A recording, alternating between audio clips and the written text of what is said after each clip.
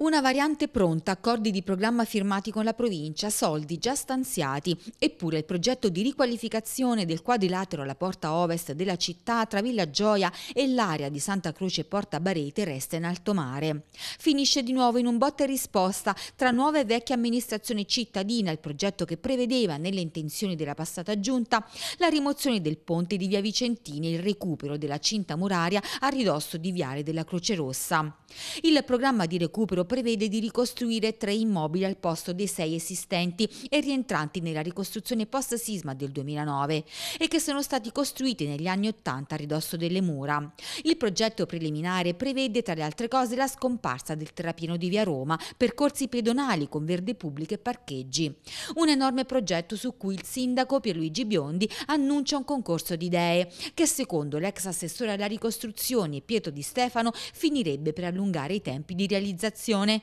con il rischio che lo Stato richieda indietro i 4 milioni di euro già stanziati con delibera CIPE. Ho letto invece che si vuole andare verso un concorso di progettazione, qui significa riportare tutto indietro nel tempo. Nel frattempo ci lamentiamo che la città non venga ricostruita nella parte pubblica, creando esso un notevole disagio al contesto urbano, però in fin dei conti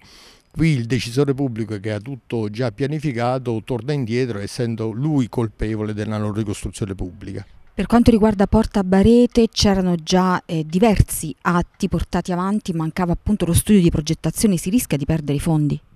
Ma lì c'era soltanto da dare l'incarico di progettazione, quindi una banale gara per un incarico di progettazione, c'è un preliminare avanzato già fatto che è stato frutto della variante urbanistica, c'è il finanziamento, finanziato quello con le delibere CIPE come sono finanziati altri progetti,